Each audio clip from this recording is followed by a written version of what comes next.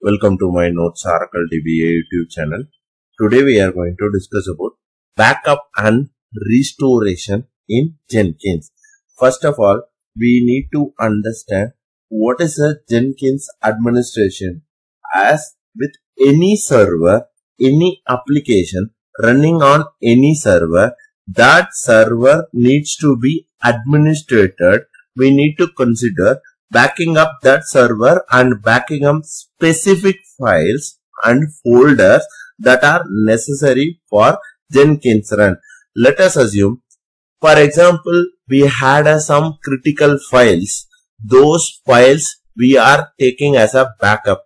If that particular backup we are unable to restore at any critical situation or any failure, we have to restore that particular file.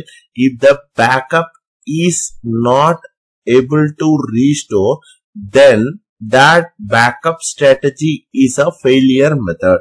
Multiple ways to take the backup of data in any emergency situation. We are unable to restore the data from our backup, then our backup strategy is failure. Also, in the administration, actually we are uh, going to cover as of now backup and restoration and restoration. When we are discussing about backup and restoration in Jenkins, it is pretty much similar. We can do a full backup, snapshot backup and incremental backup. All those different types of backup styles are available in Jenkins. Even though applications are running in the system, still we need to take a backup. So we add a like a question which files we need to take a backup in the Jenkins. Like if it is possible we can take a backup of everything but it probably going to lose 90 percentage of your workload. In order to take a, everything as a backup we can primarily take the backup of Jenkins underscore home directory. Home directory contains of two uh, subdirectories. One is called configuration files. Another one is like a job uh, directory. Configurations file directory contains of all the current configuration of Jenkins format.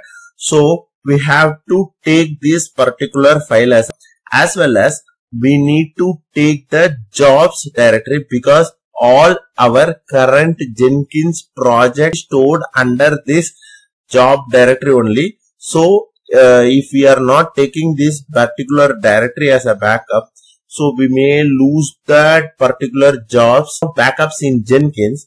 The first thing is file system snapshot. Second one is plugins for backup. And third one is like uh, shell script to through the shell script we can custom that uh, script it depends upon our requirement we can take the backup so what are the uh, advantages and disadvantages of these three types of backups? So file system level backup, these snapshots are not real backups. So we don't use these for a longer term solutions. Maybe it's good for daily instead of incremental routes, which again for backup. When we have a different types of plugins and different features are there, so to take that uh, backup in Jenkins, it's very easy as well. And writing a script that backups are Jenkins instance backing up using the shell script.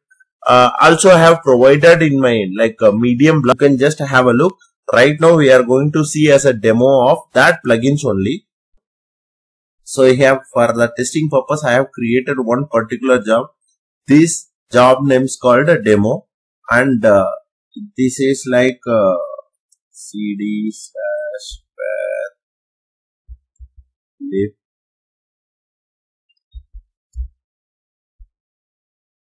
jenkins.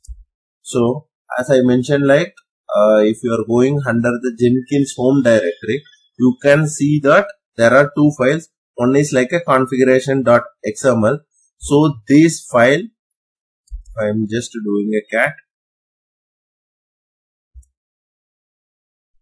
You can see that all, all the configuration has been maintained under the XML file.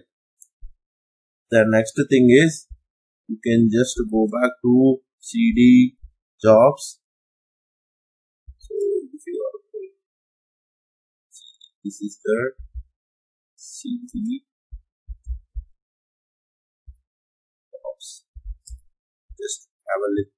So this demo one is our whatever the project or jobs we have created on that Jenkins dashboard those has been copied under this jobs demo directory. If you want you can just have a look.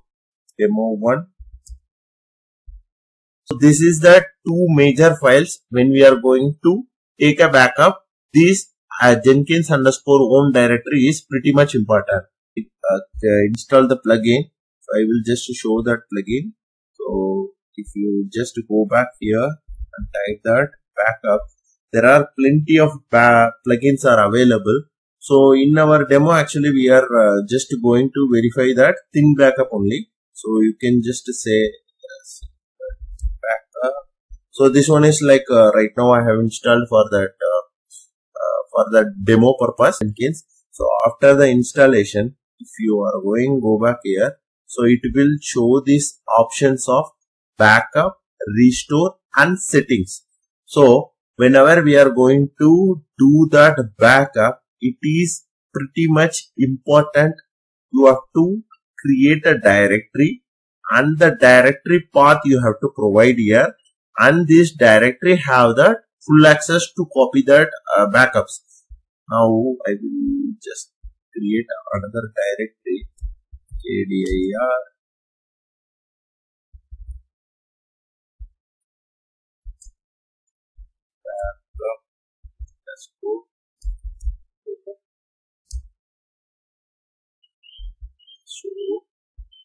So let's create that.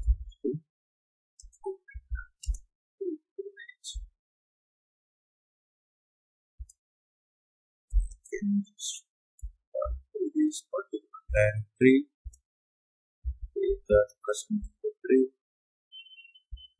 You can just copy this location.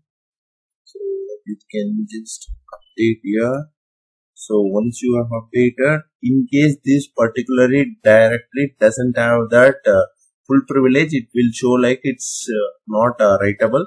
So that error will be occurred. Now I have saved that particular thing. Now if you have initiated a backup, that backup is successful and you can verify that in this particular directory. See our backup is there. Now what I will do, I will just go to the settings and that one and like uh, that build options. Now what I will do, I will just select all these options.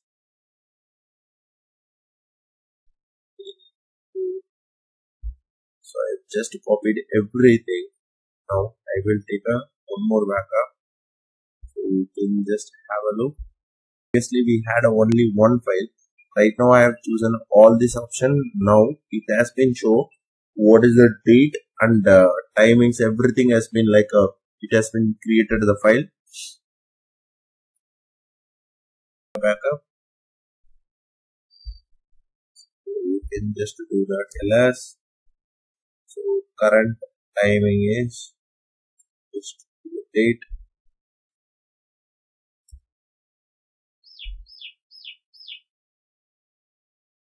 1 am 3 minutes. That's why our backup also which contains the same date and hours and minutes. Now we had a three backups right? When we are going to do the restore it is pretty much simple as well. You can just go back here and you can select whatever the full backup you have created right? Those backup details has been shown here. So if you want you can just select that particular file. And even if you want like uh, when it was like for example any critical situation job has been deleted or like uh, you want to do something happens on your server itself like you have copied it somewhere then you can directly go and you can choose this option and you can just click that button and you can just do the restore